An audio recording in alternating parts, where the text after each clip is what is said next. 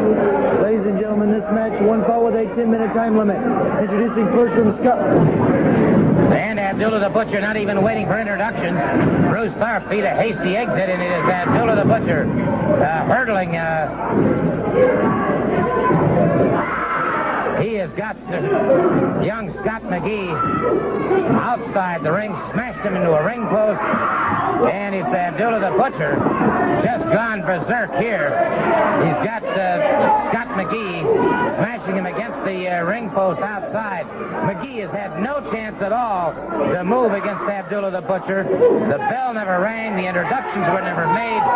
The wild man from the Sudan just completely uh, went berserk here as he went after uh, Scott McGhee. And Scott McGhee smashed into our desk here, and Scott McGhee hurdled to the uh, concrete once again, and McGhee in a lot of trouble, as Abdullah the Butcher. And this is the thing about the man. He is uh, almost in, uh, one could almost say, completely uncontrollable. He, as I've said before, many times seems totally impervious to pain. McGhee, badly lacerated, but uh, still a great, great courage, great fighting heart. McGhee gamely making his way back toward the ring. And I'm afraid, uh, buddy, that this situation for uh, Scott McGhee, know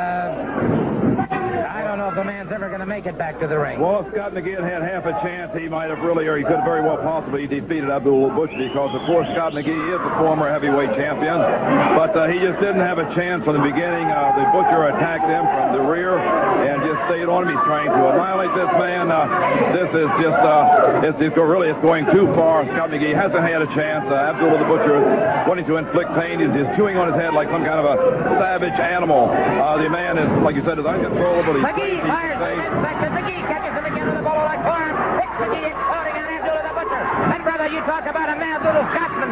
This fellow is. It's McGhee exploding all over Abdullah the Butcher. This Florida heavyweight champion, former champion with a great, great fighting heart. Got with a beautiful flying drop kick. He's got Abdullah the Butcher down. He's got the Butcher down. It's Scott McGhee setting his man. And watch McGhee as he goes outside the ring. Brother, you talk about bombs away. They're coming. Scott McGhee poised on the of.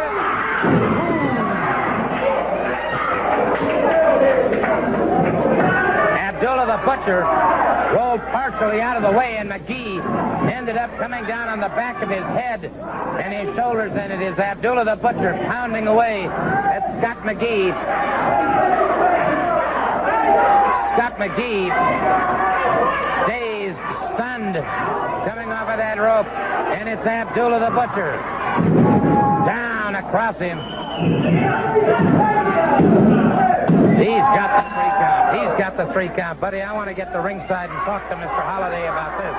Well, you know, Scott McGhee being a former heavyweight champion of Florida, this is quite a wrestler. And uh, what Abdullah the Butcher did to Scott McGhee, he's still in there. He still has his forearm across the throat. Uh, it's just incomprehensible to see a man act this way in professional wrestling.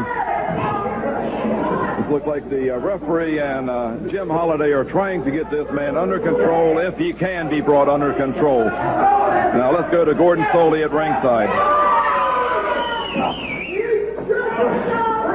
Well, all I can say is that uh, I trust that you have this man completely under control, Mr. Holliday. I have everything under control here, and every day is a holiday from now on out. I want you to look at here. $10,000. The most devastating, most awesome force to ever step into a wrestling ring. Look at here. Let's get this camera in here. $10,000 cash to any man who can pin the shoulders of this gentleman here. Now, you just saw what happened to your ex-champion here, your ex-Florida heavyweight champion. What happened, huh? Look at him over here. He can't even get up. This is what's going to happen to any man who steps in the ring with the wildest, craziest, most insane man who ever mauled anybody who ever stepped in a wrestling ring. $10,000 to any man who can pin the shoulders of this vicious animal to the mat. Oh, Scott McGhee has been uh, is being removed from the ring at this time. Uh, stretcher has been brought out, and Scott McGhee uh, being uh, taken now to receive medical aid. And uh, this man, Abdullah the Butcher, uh, Well, frankly, I don't know what else to say about him except that, uh, Mr. Dillon, this is... Malapita, Malapita, this is a very, very proud moment for me. When I look at this magnificent individual, I remember back to Manila in the Philippines. I remember back to Jakarta. I remember back to Sydney, Australia. Malapita, Enoti, Enotu, Enotu, Setari. I remember back to all the exotic countries in the world where this man struck terror. This is my black specimen. Well, actually, our, his black specimen, one of the most awesome forces that professional wrestling has ever known. He has terrified every arena in the world. There is not a man, hey, Malapita. There is not a man who could stand up to him. And for Mr. Holliday to take this incredible sum of $10,000 to anybody that can pin his shoulders, that money's as good as in the bank, drawing compound interest, because there's not a man in wrestling that can hold this force down. Nobody can touch him. Scott McGhee, Florida champion, magnificent athlete, undefeated on television today, the strongest challenge that could possibly be thrown at the black specimen, and he was there to stand up to the challenge. And this is only the first step because I feel so good about what Jim Holliday has done, and he is going to take this man to heights unknown before. So the family, take notice. Blackjack Mulligan, you've been pushing people around for too long.